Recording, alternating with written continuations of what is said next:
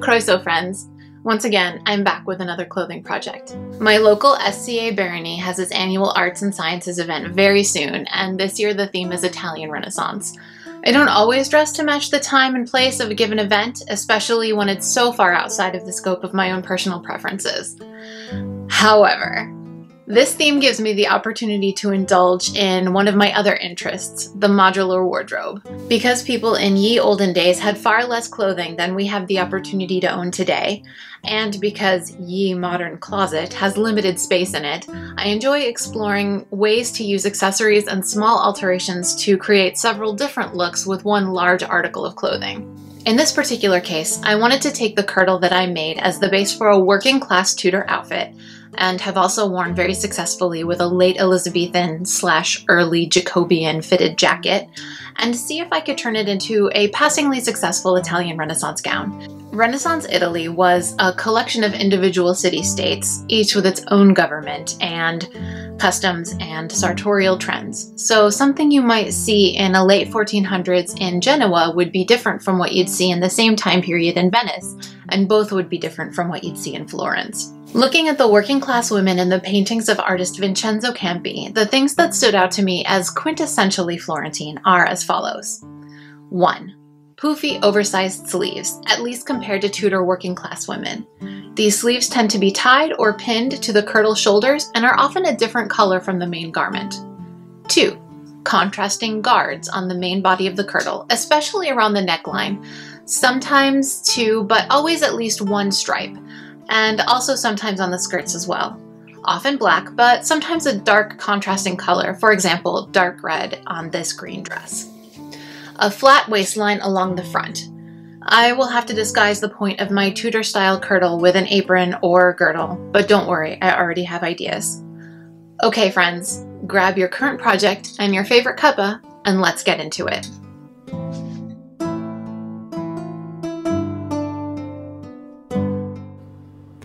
Okay, if you think about a commercial sleeve pattern, which is to say narrow at the bottom, wide at the top of the arm with the arm side bump of the shoulder in the middle here.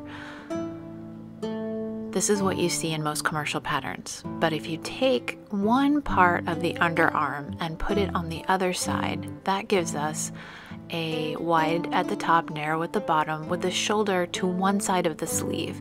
This moves the seam back to the back of the arm and is much more what you would see in most medieval sleeve patterns. So if I take that basic shape and add width to the top, length to the bottom, and make it poofy on the sides, this is going to give me a shape that's much more in keeping with my envisioning of a Florentine sleeve pattern and that's where you would put the tie point up at the top.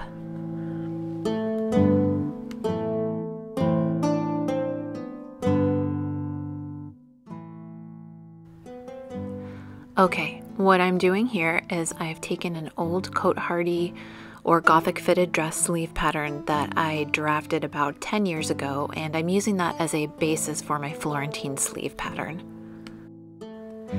It's already had the seam rotated to the back of the arm, which gives the top of the sleeve that lovely sine wave shape. I'm just double checking my wrist width here to make sure that the sleeve is going to fit me. I've measured the length already and now I'm just creating the basic sleeve shape to use as a base for the Florentine shape.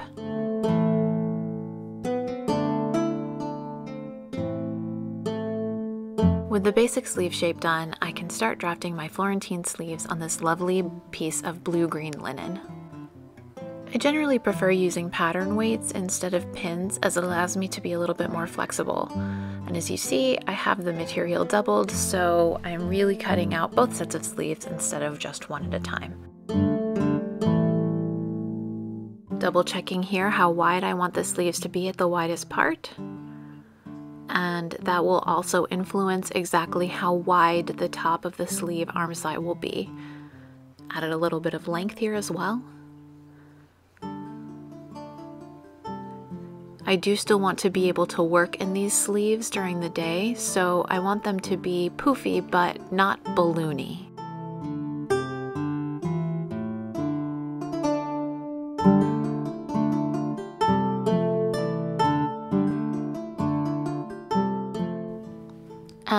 The sleeves all drafted up, now I can go ahead and cut them, adding a seam allowance at the bottom to make sure that I have exactly as much length as I want.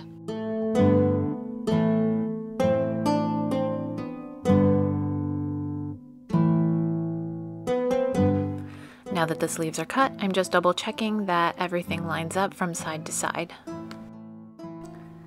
And since that looks good, I can go ahead and use the linen sleeves as a pattern to cut out the silk fabric.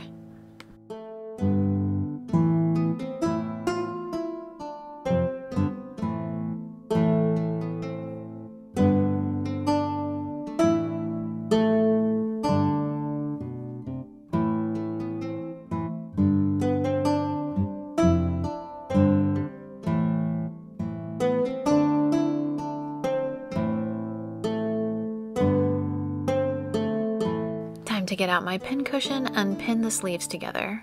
From here on out, I will be showing what I do to one sleeve, but not both, as showing both would make this video insufferably long. I do like to make sure that I'm folding the sleeves correctly. When all is said and done, if I put them next to each other, they should form mirror images as shown right there. After that, it's just a matter of making sure the sides line up together and that I'm pinning in a consistent direction which will make it easy for me to take them out as I sew them on my machine.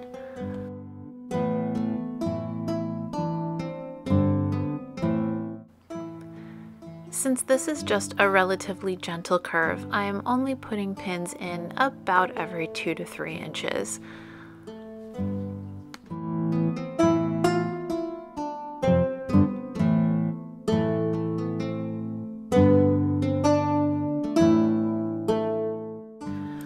All four sleeves are now pinned in the correct mirror image configuration and I am just about ready to take things back over to my machine so I can get sewing.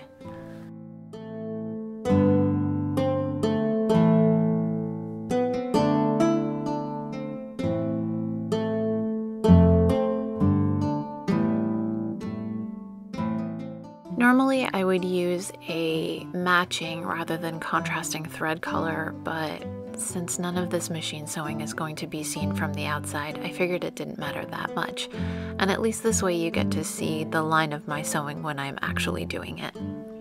I'm using a half inch seam allowance here, which is less than the commercially standard 5 eighths of an inch.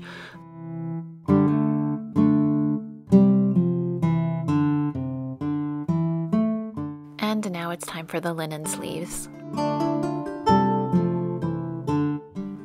Note that I am not sewing over any of the pins. I am removing them as I get to them. I've sewn over and broken too many.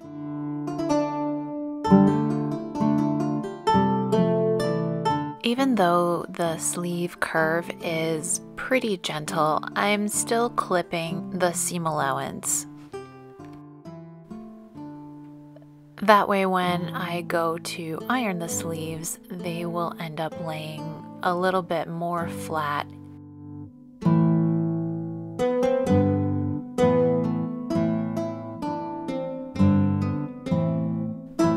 Readjusting my iron for a silk setting. Always make sure to have your iron on the correct setting for the material you are pressing, lest disaster befall you. Now that all four sleeve sections have been sewn up, it's time to attach the silk to the linen sleeves. Off we go.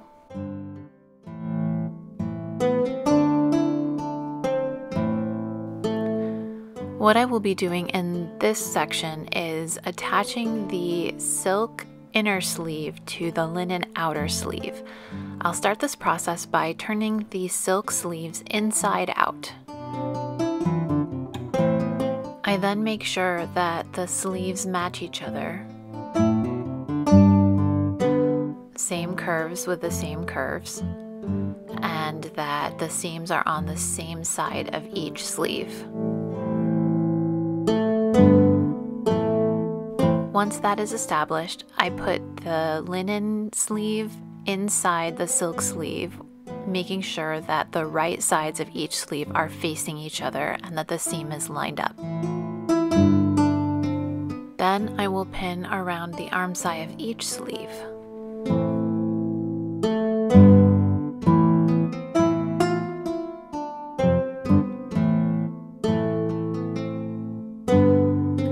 Notice that there is a little discrepancy right there that I will go ahead and cut off each sleeve.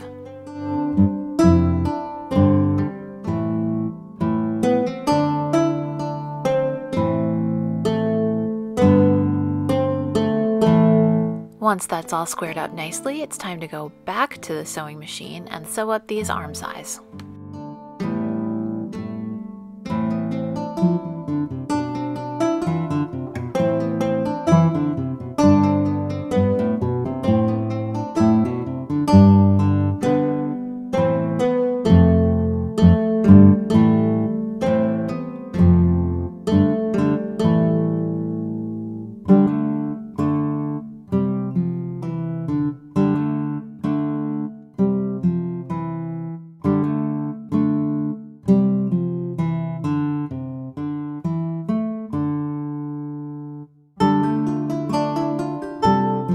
Once those are all sewn up, it's time to come back to my table and clip all of these curves.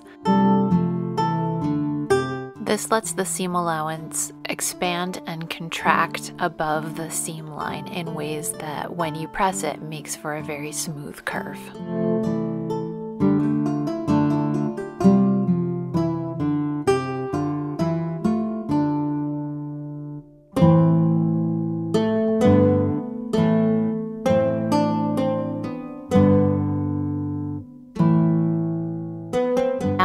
The sleeves right side out, tucking the linen lining back into the silk so that I can then press the tops of the armscye. Back at the pressing station, I'm using a kind of pinching and rolling technique to make sure that the seam is as turned out as possible before I press it.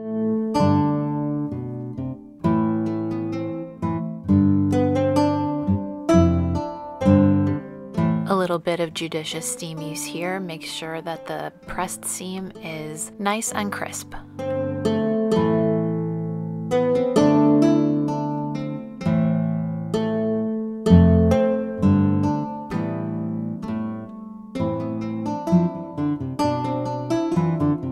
You can see here how nice and sharp that pressed edge is, especially in comparison with this edge that I haven't pressed yet. I don't want any visible machine stitching, so in order to finish up these wrist edges of the sleeves, I will be folding each raw edge in by about half an inch. I'll pin the hems of the sleeve and lining separately and then pin both materials together at the end. This allows for a very precise hem on both sides, which is what I want in a reversible sleeve.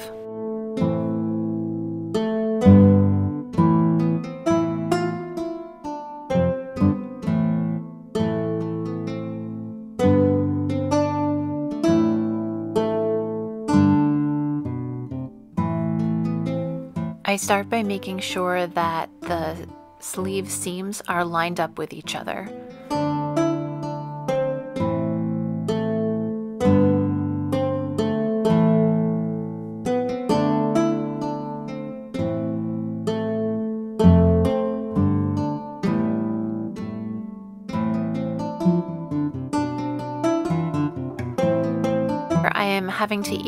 Some extra stretchier linen into the less forgiving silk sleeve, but it will all work out in the end.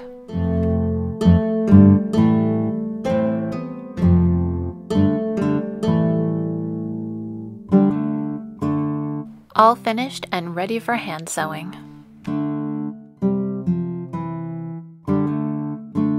gathering up my materials, which in general are usually a needle. This particular one is from a set of Japanese sharps that I completely adore. A small pair of scissors, my pincushion, brass pins from Burnley and Trowbridge, sometimes beeswax for thread conditioning, and of course, thread.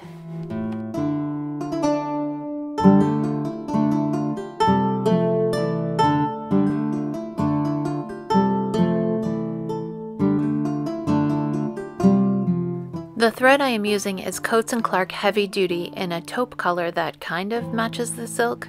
I generally prefer heavy duty thread for areas that could potentially see a lot of strain and wear. The stitch that I'm using is sometimes called an invisible stitch or a ladder stitch. It basically consists of taking one running stitch on each alternating side of the hem so that a little ladder of thread is formed, holding the two fabrics together with ideally no thread showing once the ladder is pulled tight. I'll go ahead and zoom you in so you can see it a little bit more clearly as I stitch.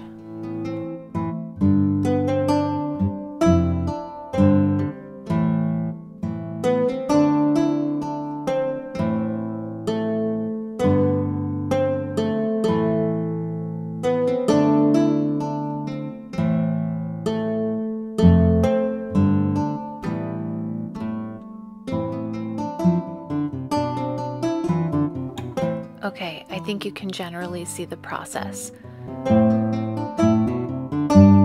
Take one running stitch on the linen side.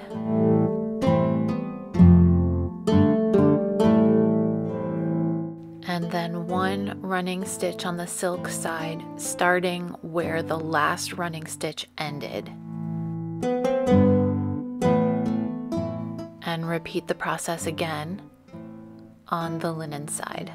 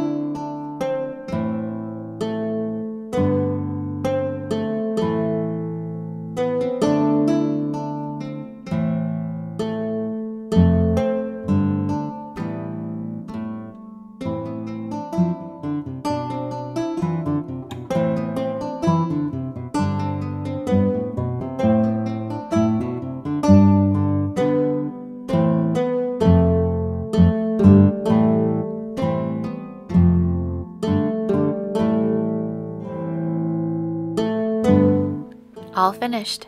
Now just to finish the other hem and I will be done with the sleeves.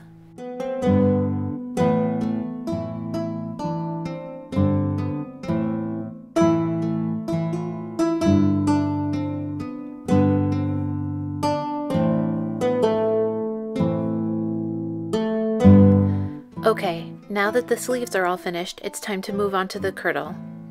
Here is the front, and you can see the slight point that is pretty ubiquitously English Tudor, and that will have to be disguised by some kind of sash or apron. I found in my stash a piece of black velvet ribbon that would be perfect. I'm not quite sure it's long enough, but we'll see.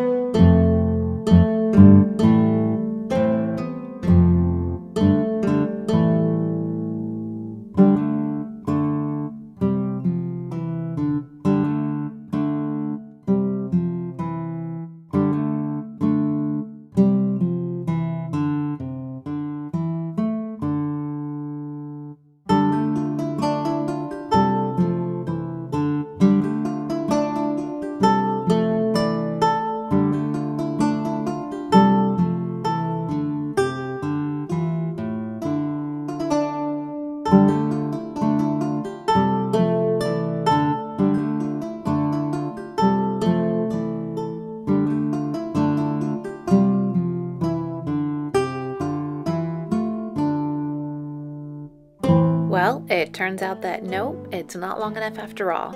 I have a couple options. I can try to piece the gap in the ribbon, or I can use something else completely. This piece of black linen bias tape is a color match, but the texture is too dissimilar, especially since I'm not planning on wearing a veil that could camouflage the difference.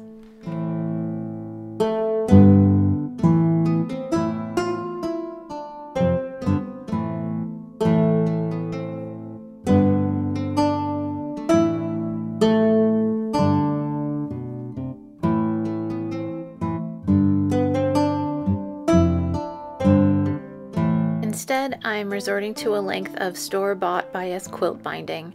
It is in no way historically accurate, but that's honestly okay with me since it's only going to be temporarily attached anyway.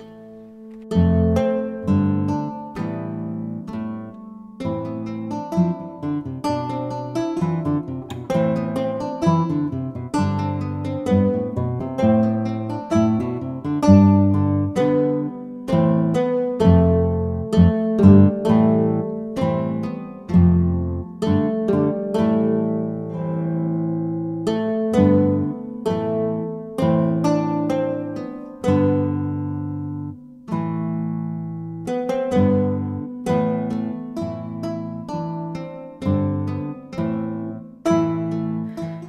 my favorite part of adding the guards to the neckline is the mitered corners. The secret is to pin the bias tape at the lowest point and then fold the tape up to create a lovely sharp corner and pin it again to hold it in place.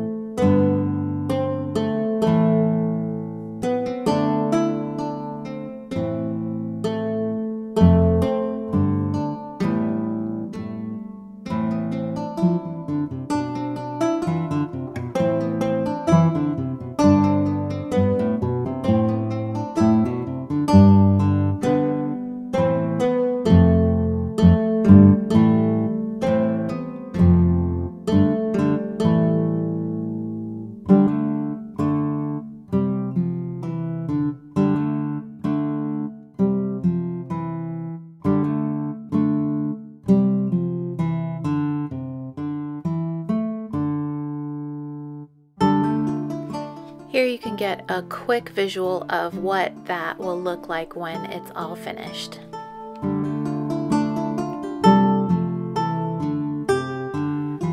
Once the pinning is all done, I am going to attach the guard with a felling or applique stitch.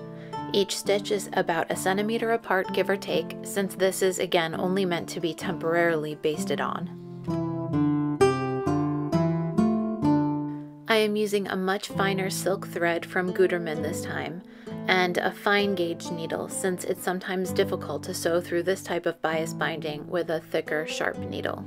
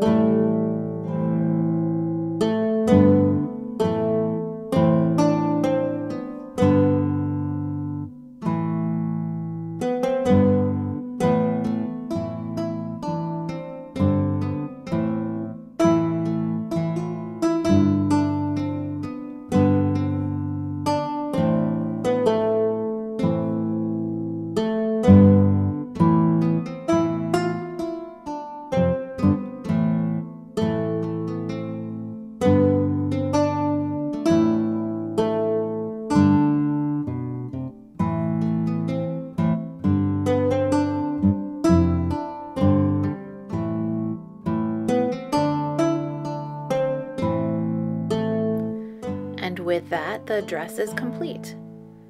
You can see I wasn't very careful about making sure the stitching wasn't visible, but since it's temporary, I don't really care. Now it's time to try everything on.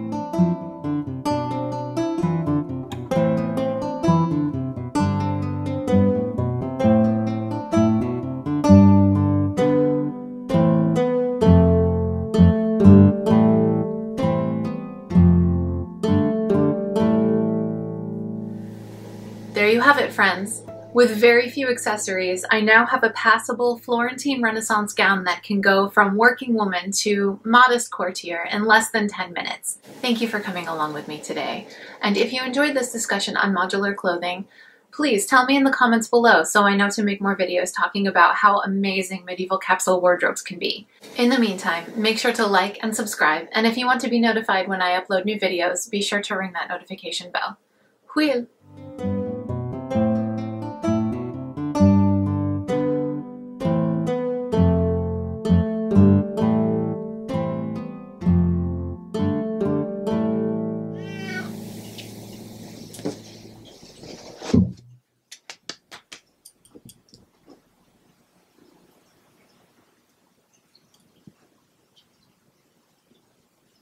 You're gonna make it impossible for me to film, aren't you?